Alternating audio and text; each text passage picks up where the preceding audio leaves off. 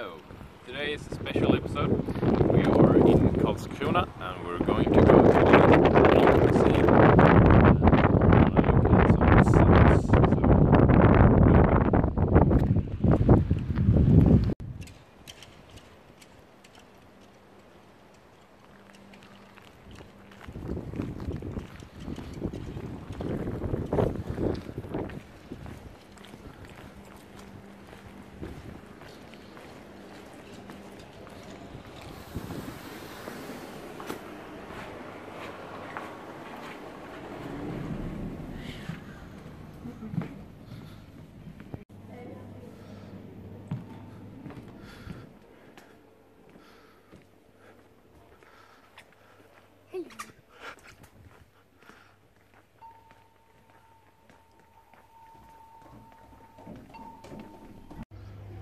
This is a two-man submarine.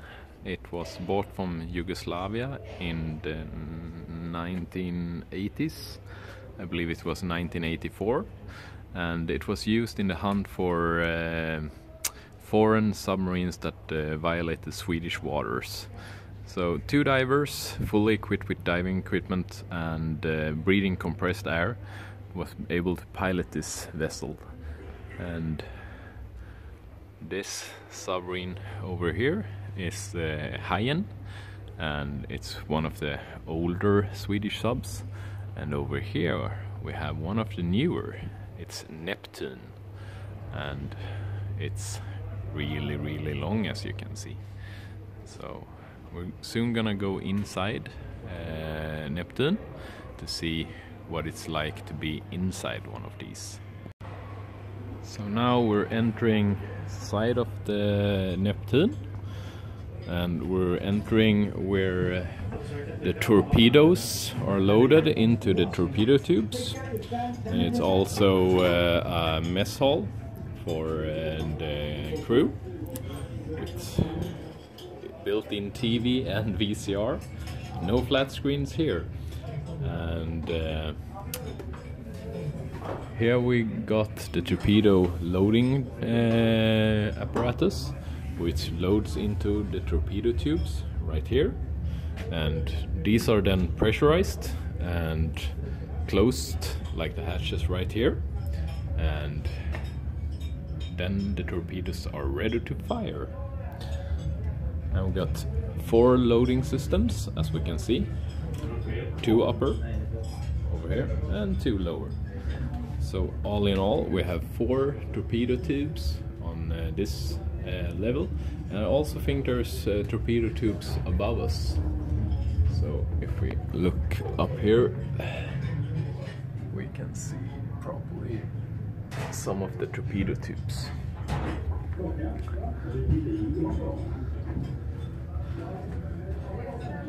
It's not- You've never been inside a No, U-boat? never. I've never. It's quite it's qu- quite uh, massive. Uh, it's not that tight that one would think. where they launch uh, The torpedoes, yeah. They take the torpedoes on these rails and they're loaded because these can uh, be extended and uh, lifted and then go, the torpedo goes in there. They close the hatches, pressurize the tubes and then they are ready to fire.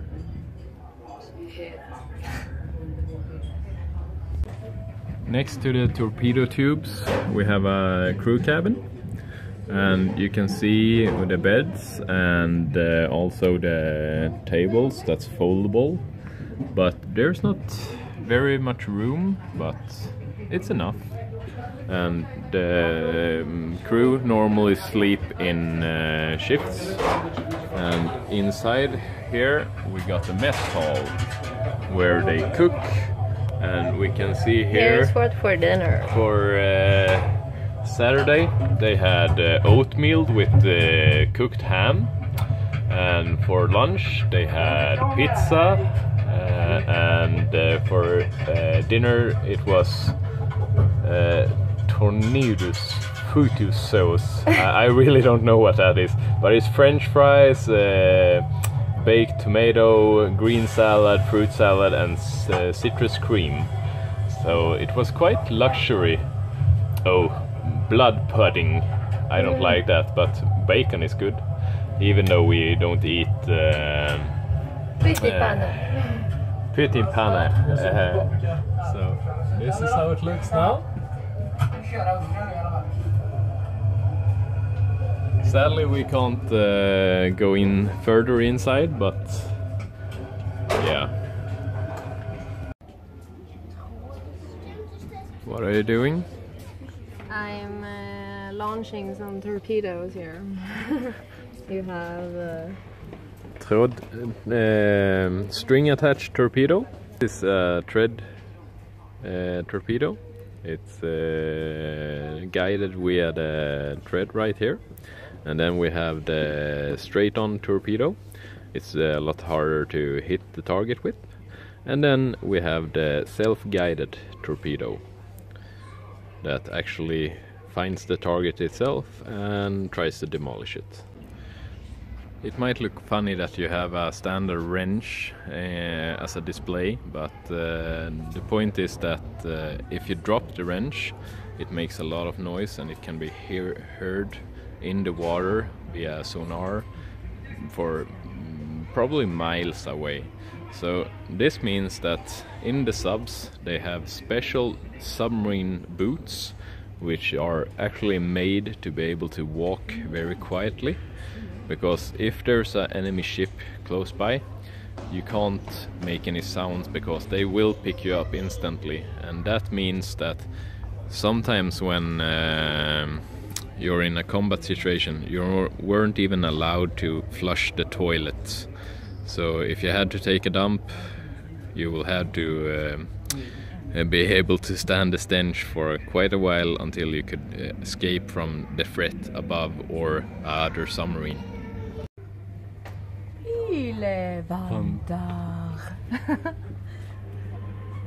Hula hula. Sover. it basically says uh, Caesar, and that's probably the dog. Let me see if I can get better. And Sover is uh, sleeping, so uh, and uh, that's a Nalle, Teddy and that's ba- basically a teddy bear. And uh, this is Paris Resa. What the hell is Quintus me Q. Quintus is uh, a name, and uh, me is with, and Q is Q. So all of these are A, B, C, D, E, F. So uh, that's how you uh, go with Morse code. So we're still at uh, looking at the Neptune, and uh, it was uh, um, first launched at 1972, I believe, and it's still pretty modern uh, state. But look at the size of this propeller; it's really, really big. Melinda, can you sta stand in front of the propeller so we can get a comparison? So, yeah. So if you're a diver and you're in the water and all of a sudden a big shadow approaches, be sure to hold on tight to something because this one will create a big big vacuum in uh, in the water and you don't want to be stuck in the propeller once it passes you. So I will uh, uh, show a video uh, or link to a video in the description where a diver uh, is actually in the water uh, when a cargo ship goes past. This is probably the most important thing. It's a toilet. It's hand operated. So when you're done your business and uh, there's no enemy combatant ships around, then you start pulling this one and uh, you have to uh, pump it to get the stuff inside the toilet to go away. Earlier we were uh, downstairs and uh, that torpedo hatch right there was the one that was open so you can see it has four torpedo hatch downstairs and four torpedo hatch upstairs. So we're soon gonna go inside uh, at the top but right now we can see the big uh, submarine tower And it's really, really, really big this one. Now we are at top of the U-boat and we can see we have the other four torpedo hatches. And here we also have one of the torpedo. It's mm, slightly bigger than the, the other one I showed you. Uh, and it have more of a punch also. So inside here goes the torpedo or the diver, the attack divers.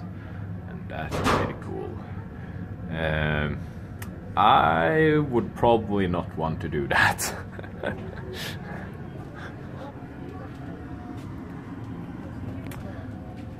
and we can also see that wherever they had the opportunity, they crammed in uh, bunks so the crew can sleep.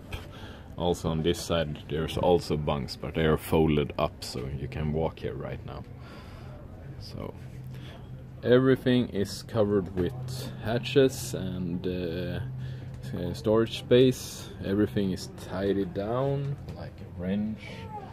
And this is crew cabinet. No it's not. It's uh, just storage also. And here we have the legendary toilet. The modern modern version at least. I also think it's probably mm, no it's not a shower but yeah. This is uh, emergency escape hatch.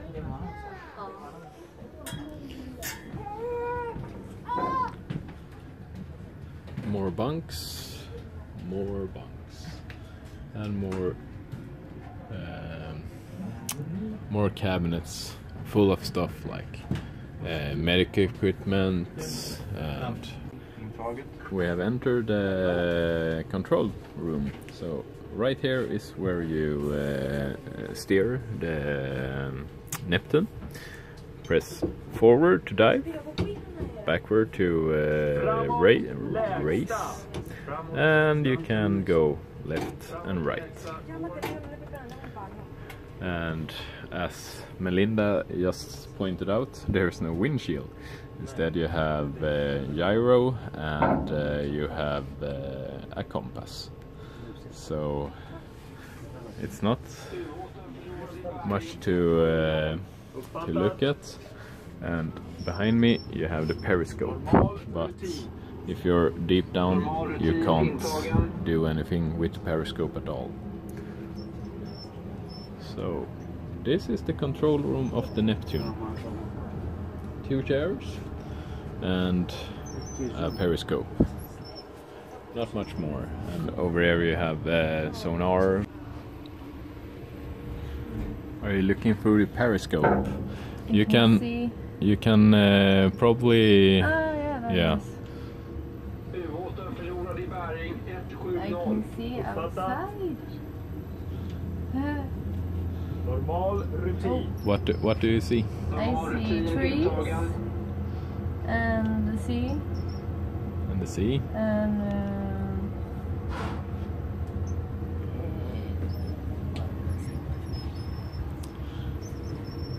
Here you have the basic way of navigating. So this is uh, the sjökort, uh, sea charter or sea map or whatever it's called in English.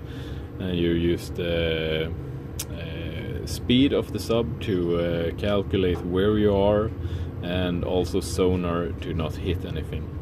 And if you're in uh, uh, uh,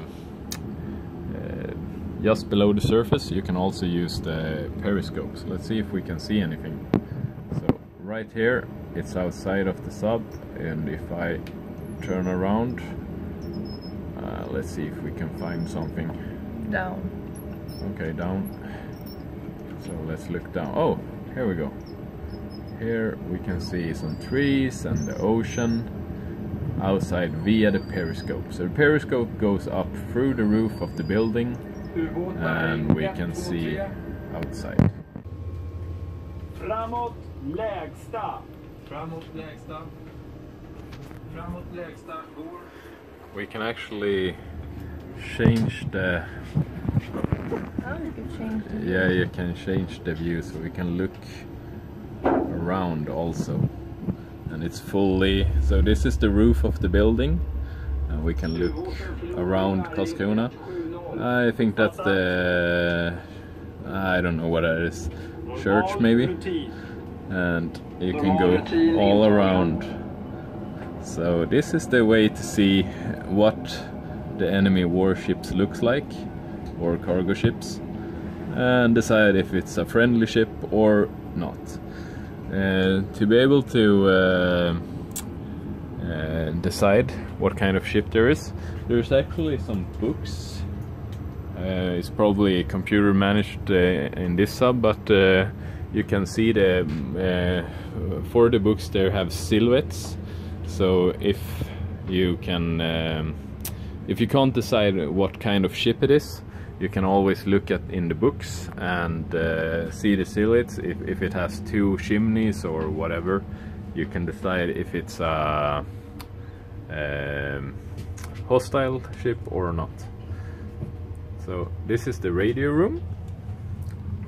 And uh, all the equipment for the radios.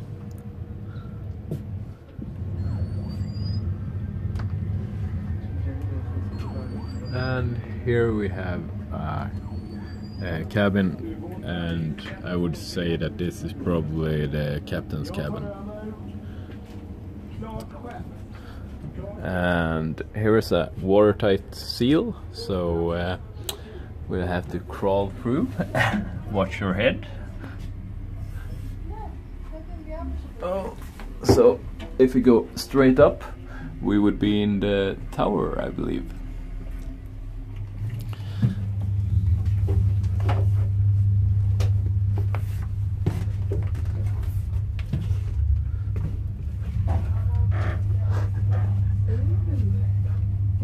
Oh, I can go up there. You're not doing it the right way. the the the crew that uh, normally they grab a hold of that one and they go with the feet first. Ah, they shoot themselves. Yeah.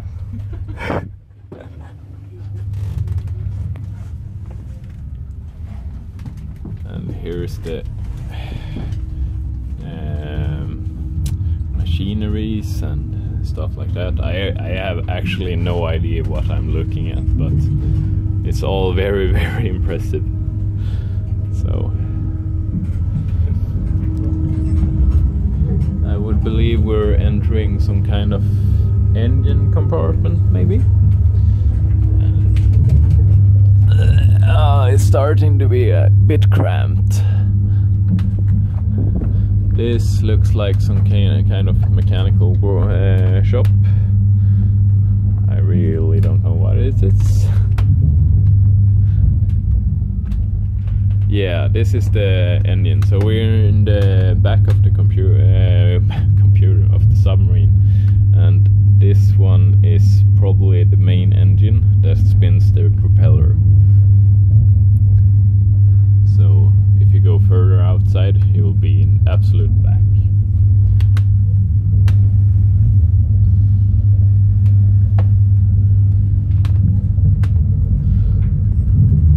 So this is basically the engine uh, machinery room.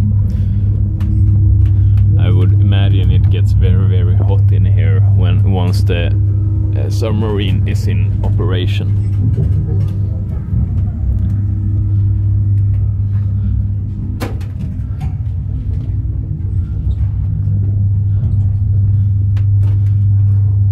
I would say this is in case of fire.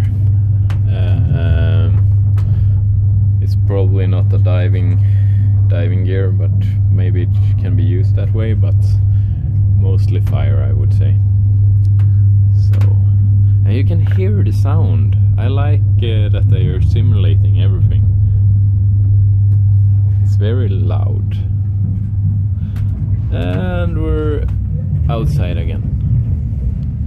So, back outside and all around the way uh, from the Neptune you can uh, look at the different subs that has been developed. So this is the sub uh, Aboran 2 uh, from 1962 and it goes back all the way to Hajen that was 1904 I believe.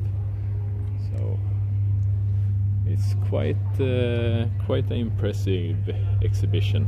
And this is just the part with submarine exhibition there's actually a lot lot more here at Marine Museum but this is what I will show you and um it's quite impressive so if you have the chance please come and take a look at it even uh, though it's like crazy war stuff, but it's still underwater and it's pretty cool. So.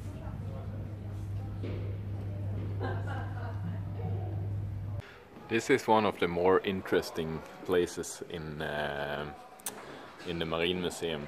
Go till bottom. it basically go to bottom. So we're going downstairs to see what's beneath Marine Museum in Karlskrona. And the fun part about this is that here is the water line, so uh, surface of the water. So right now we're beneath the water line and it's getting colder, a lot colder. And here you can see outside and we're actually below the water and this is an old wreck.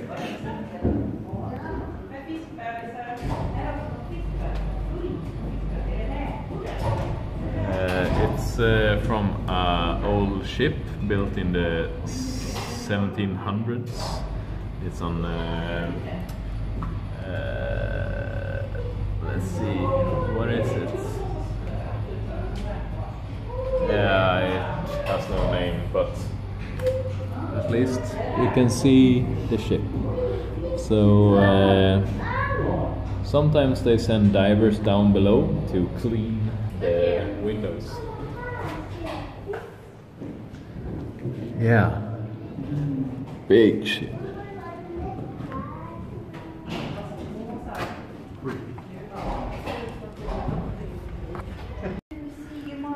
This is a simulation of how you uh, search the bottom of the ocean. You lay out a net and then you go through uh, the net one uh, frame by uh, frame.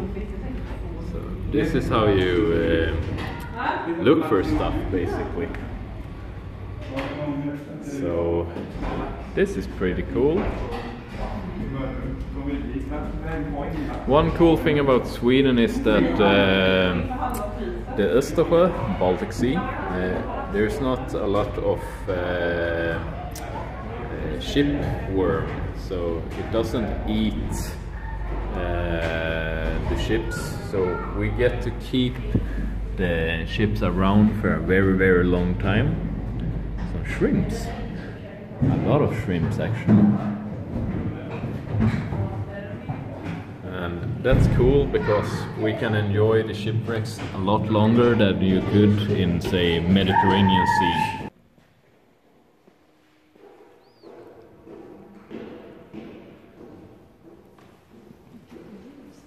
So this is where we leave you.